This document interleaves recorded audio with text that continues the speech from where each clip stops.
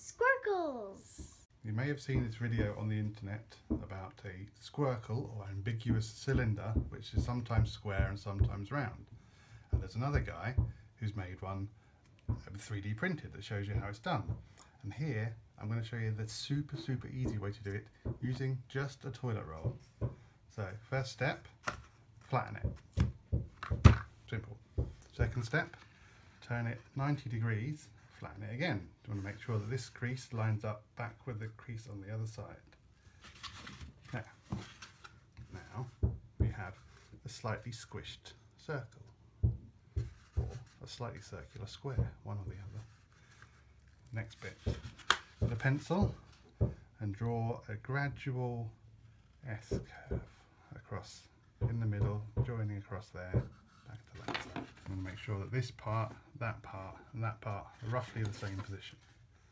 And snip it off.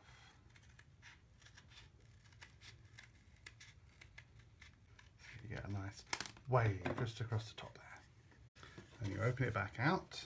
So you've got still got your rough wonky square.